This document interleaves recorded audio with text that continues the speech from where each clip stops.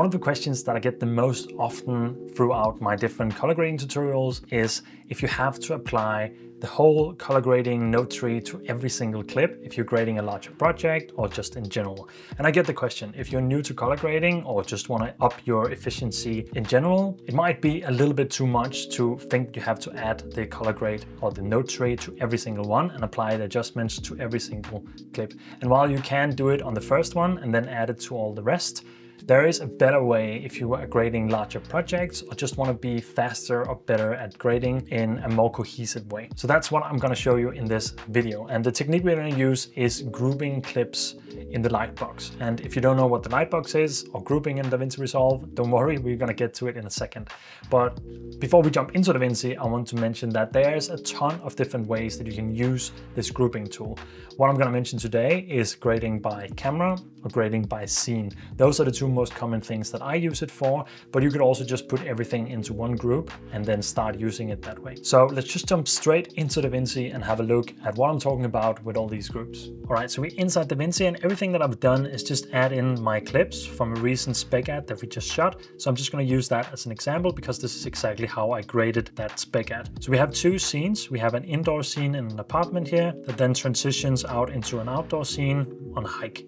So those are pretty much the two scenes that I'm gonna group by here. If we jump into the color page, if you're new to this whole structure, this is the tree area, you probably know that already. And now we are on the clip level. If you watched any of my tutorials before, this is pretty much where all of them are existing in. So this is just a clip level. This is where we add nodes and we grade any specific clip by itself. You can also switch to the timeline if you've seen that before or this is the first time. What this is essentially doing is if you're adding, let's say contrast in here, you're not only affecting this clip, you're actually affecting all the clips at once. And in an instant that might seem, oh, that's perfect, that's exactly what I need. But the problem with this is that if you're adding something like, let's say a text object, so let's say we're adding some text in here and we just want to make that say yellow so we're just gonna make that yellow in like an orange way here. If we then go back into our color here and go into the timeline, if we start messing around with the colors in here, we're also changing the colors of the text because in this timeline node tree, we're affecting everything that's in the timeline. So that's not excluding text, that's not excluding adjustment layers or anything else you'll put in here. So it's not very ideal to grade this way unless you only have clips in here, which when you start editing more is rarely the instance. So if you have to put any text, logos, anything in here, this will not work. So just delete the text layer here again go back into our color page and just reset our timeline node tree here. So while this can work for some things, I highly suggest that you keep away as much as possible from using the timeline unless there's something specific you can add that doesn't harm your overall grade or any text or things that you will add later on. And there's a much smarter way of doing it. So I talked about grouping and we're gonna head into the Lightbox. If you don't know what that is, it's this tab up here that's called Lightbox. You can click here and that just opens a new kind of menu or overview of all the clips that you have inside your timeline. Now, adjustment layers and text objects and everything will appear in here. So what I suggest you do is either hide that from the timeline so that it doesn't show up or start doing this grouping as soon as you have all the clips before you start adding text and adjustment layers and other stuff in here. So you can make these icons smaller or larger depending on how many shots you have. This is also great for looking at how the different clips looking overall in your timeline if there's a cohesiveness between the grades. Here you have a lot of default filters that you can use if you have noise, noise reduction in any of your clips or something like that. They already have some here. By default, you'll have all clips selected. And what we're gonna do now is group the clips. So what we can do is select the first clip here from our scene and all the first five clips here are from our apartment scene. So I'm gonna right click and I'm gonna add it into a new group. I'm gonna call this one apartment, but depending on how you wanna structure this, you can do this in any different way that you want. If you had shot this with two cameras, Canon and Sony, this could also be a way of structuring the cameras. And if it's all in the same scene or the same place, maybe that makes more sense. In my case, I wanna grade the two scenes differently. So it makes sense for me to do this. And everything was shot on the Sony FX3. So it doesn't really make sense for me to group it any different. Lastly, you can also just put everything into a group and then use the same techniques throughout this. You don't have to have separate groups. So I'm gonna put these into apartment and I'm gonna put these into hike. That will make two groups show up here. So if we choose apartment, we only have the apartment clips and hike, only the hiking clips. So if I now close the lightbox, now we are actually in the hiking clip or in the hiking group. And if you go in here, you can see if we click on a clip, we will actually jump to that clip. So it can also be a way to quickly enter and find a clip. Up here, you can switch back to all clips, or you can also go down to groups and you can switch between apartment and between hike if you only want to see the clips in each of the different groups. This is especially good if you're grading by camera but now that I'm grading by scene, they are all together here anyway, so it's fine for me to see all the clips all together. Now, you noticed before that we had two dots up here. We have clip and we had timeline. But now we have two new dots, and if we use the arrows here, you're able to see what all of them are called. So clip and timeline hasn't changed, exactly the same before. This is individual clip level grading, and this is the entire timeline as we talked about before. But now we have group pre-clip, so anything that you're grading that happens before the clip adjustments by themselves. And we have group post clip, so anything that happens after the corrections or the adjustments you've made to the clip. And this is really great because that means that we have groups where we can do adjustments to all the clips in this group all together and thereby build out the look. So in a more practical way, let's have a look at how this works. If we take it step by step by how you would color grade a normal project, you would start by the conversion if you shot in log. So that's exactly what we're gonna do. We're gonna head into the group pre-clip. And again, this is just my workflow, so you can do it however you want. I'm gonna go from log to the DaVinci Wide Gamut. So I'm gonna name that and I'm gonna head in here, hey, take the color space transform, go from Sony Gamut free, Cine, and Sony S-Log3, DaVinci Wide Gamut and DaVinci Intermediate. And then I'm gonna head into my post clip here and I'm gonna call this Wide Gamut to Rec 709 and hit another color space transform here, Wide Gamut, DaVinci Intermediate, Rec 709, and Gamma 2.4. Now you'll see that all of the clips in that group has changed into Rec 709. And you can see that I'm affecting all of them essentially when I do that. You can see the thumbnails update as well. But when I'm heading in here to the second section, nothing has changed. So what I can do here is just head back to my pre-clip. and just copy this one and then apply it in here. I need to apply it on the node level. And then when I head back here, I can take my post clip here and I can add that in here as well. So now everything is in Rec 9 and that's essentially a quick way to do your conversion. Now, the good thing about this is also that say that instead of this being apartment and, and hike, this could be Canon and Sony.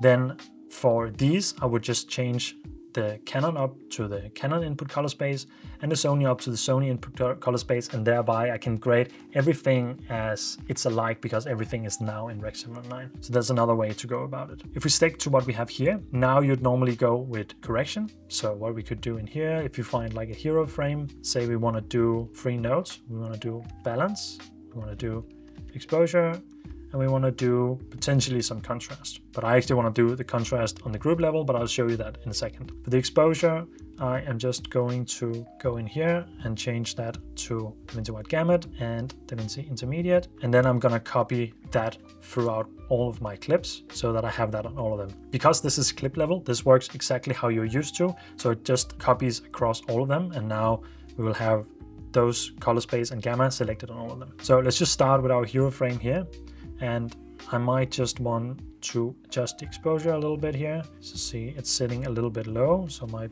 add half a stop, seeing where it's sitting. I might actually add just a tiny bit more to 0.75. I want to check if my balance here is sitting in the correct place and it looks like it's okay, but usually these Sony clips tend to be a little bit too magenta, so I'm just going to turn that down a little bit that helped a little bit to get rid of that magenta. I'm not going to go in detail on all this. It's more tutorial about how to do the workflow rather than this, the grade itself. But now comes the fun part. I'm going to skip the contrast for now. I'm going to add a few nodes in here. So I'm going to add contrast here. I'm going to add a look node. I'm going to add some curves and some, in this case, actually, I'm going to go a little softer. So I'm just going to add some saturation here. And that's all I'm going to do for this particular clip. The reason being that this first scene, I wanted to be quite moody and desaturated. So what I'm gonna do in here is just add my contrast. So I head back to my waveform so I can see what I'm doing and just add in some contrast here, power up everything, see where her skin tones are lying. I think we can go a little bit stronger here, something like this. And I think that already looks pretty good. So for look, in this case, I might just boost the warmth a little bit in the gain.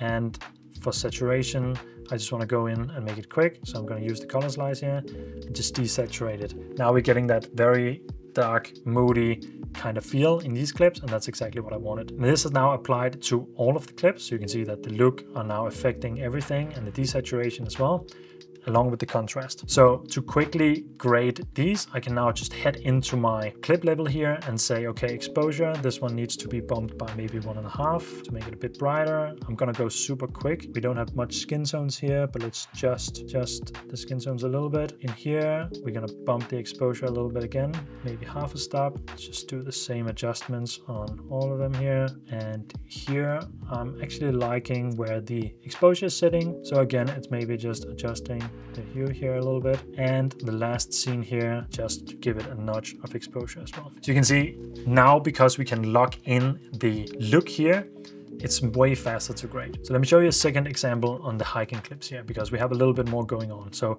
let's use this as our hero frame. And again, we're just gonna build out a little node tree for our look. So I'm gonna do contrast, I'm gonna do look, I'm gonna do curves, I'm gonna do color slice, and I think that might be what we need for this. So again, I'm gonna go in and add my contrast first because I like that to be throughout everything here. And I'm gonna go a little bit harder on it here, something like this. And then I'm gonna head back to my clip level so I can properly expose it. And I am just gonna go negative here. Something like this, I think looks pretty good. And then with the balance, pull up our vector scope, I think we have the same issue here. Slightly too magenta. Just gonna head back and rotate it back just a tiny bit here. Pretty happy with that. And now I could just go back and do it to all the clips. But before I do that, I want to build out my entire look so I can make it look exactly how I want. Now in this case, again, we're not going to go too crazy. I might want to warm up my highlights a little bit here just to make everything a little bit brighter and warmer overall. And I want to make sure that my jacket here is sitting at the black point and looks like it's pretty good. Then for the curves, essentially the greens here, I don't like how artificial they're looking. So I'm gonna push up my greens a little bit to something like this, where there's a little bit warmer. And then I'm gonna desaturate them quite a bit again, something like this to get that overall look and get more separation from her overall. And then for the color slice, I'm just gonna boost the skin tones a little bit and the density a little bit here, something I pretty much always do. And now I'm pretty happy with where that's sitting overall. So from here, I can go in and grade all the other clips and correct them. So in this case, we're definitely off in terms of the balance. So that might be the first thing I want to switch here. I'm going to take my offset. I'm going to try and rotate it a little bit so we can get it to sit in the right spot. Check where everything is sitting all the way through here and see if we can balance our exposure a little bit more. So I can just make maybe maybe one here and half a stop dark side. And then I'm seeing that it looks overall like it's a bit too green. I kind of want this part here to sit on the darker side. So just need to push it around till it looks like it's sitting in the correct spot and this is starting to be somewhat closer. So I'm not gonna go perfect here and everything looking okay. In here, let's see if everything is good. Maybe rotating the hue a little bit. Just seeing where the exposure is lying. I'm pretty happy with that. This one is too dark. Maybe bump that up by half a stop, one and a half maybe. Something like this. One is better. And that's the way that I would go through all these different clips to make sure that everything is sitting in the right spot and thereby grading way more efficiently than I otherwise would, where it just takes way longer to apply them all. And when I've then gone in and corrected all my clips, like I have here, now I would go in and go through all the different clips and see if I needed to adjust my look up here in any way, and then slowly make the adjustments throughout so they're actually working the way that they're supposed to for all the clips. Say that some greens and some clips are getting too artificial or looking weird, then that's a way that we could go about that. But the way of grading on a group level here, especially have a lot of clips. Now I only have what 11 clips in here? So it's not that much but say that i had 100 clips from a larger project this is a much faster way to create an overall look and then correct on an individual basis. I really hope that was useful for you especially those of you who don't like grading as much and just want a quicker and more efficient way of doing it, this is how I'm going about grading pretty much all my larger projects. Now, if I'm grading for social media, I usually do it clip by clip depending on what I'm grading. But as soon as I'm grading a longer form project, then this is the way that I'm going about it.